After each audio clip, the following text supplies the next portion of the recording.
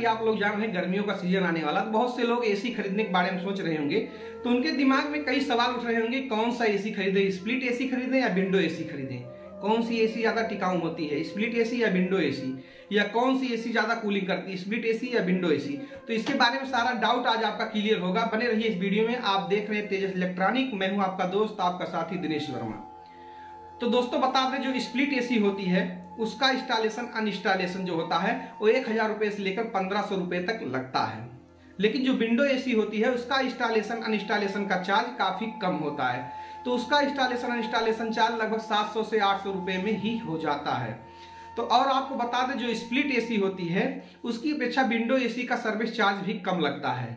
Split AC का service charge ज़्यादा होता है मेंटेनेंस खर्चे स्प्लिट एसी पर ज़्यादा आते हैं विंडो एसी की अपेक्षा। लेकिन कूलिंग जो होती है स्प्लिट एसी की विंडो एसी से काफ़ी अच्छी कूलिंग होती है। तो आपको बता दें अगर आप जैसे किराए के घर में रह रहे हैं और आप एसी लगवाना चाहते हैं तो आप विंडो एसी लगवाइए। क्योंकि आपको हो सकता है एक साल में या दो साल में या छः महीने में इंस्टॉल फिर कराना पड़े तो इसमें आपका खर्चा बचेगा और आसानी से विंडो एसी इंस्टॉल इंस्टॉल हो जाता है। और एक ही यूनिट होता है चाहे जैसे आप इधर उधर ले जा सकते हैं।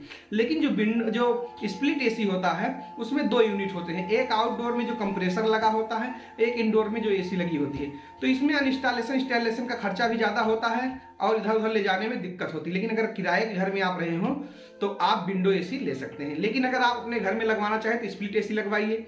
स्प्लिट एसी विंडो एसी की अपेक्षा देखने में भी काफ़ी स्मार्ट लगती है। स्प्लिट एसी में आपको कई कलर मिल जाएँगे, कई मल्टी कलर आपको मिल जाएँगे, जबकि विंडो एसी में आपको वही व्हाइट कलर देखने को मिलेगा। तो आपको बता दें, स्प्लिट एसी की कूलिंग ही विंडो एसी की अपेक्षा काफ़ी अच्छी होती है।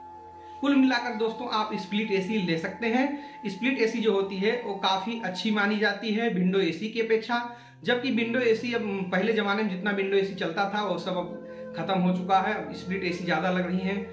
एज यूज़ होम में, घर में यूज़ करने के लिए। कॉमर्शियल यूज़ में अभी भी विंडो एसी बहुत ज़्यादा लग रही हैं। लेकिन आपको बता दें स्प्लिट एसी आप अपने घर के लिए ले सकते हैं। अगर विंडो एसी लेना है तो अगर आपको इधर उधर शिफ्ट होना रहता है तो आप विंडो एसी लीजिए। तो दोस्तों, किस कंपनी का एसी लेना है, हम अगले वीडियो बताएँगे कि ये वीडियो बहुत ज़्यादा लंबा हो जाएगा। आपका तो माइंड क्लियर हो गया होगा कि हमें कौन सी एसी लेनी चाहिए। स्प्लिट या विंडो एसी तो ये माइंड आपका क्लियर होगा किस कंपनी का लेना चाहिए, कितने स्टार का, कितने कंप्रेसर कैसा कौन सा लेना चाहिए, किस कंप्रेसर का। तो अगले वीडियो में हम आपका डाउट क्लियर करेंगे। तो इस वीडियो में ज़्यादा लंबा हो जाएगा इसलिए इतना ही। तो अगर आपको किस कंपनी का एसी लेना है इन्वर्टर कंप्रेसर या कौन सा कंप्रेसर तो अगला वीडियो आप देख लीजिए, हमारे चैनल पर अपलोड हो जाएगा।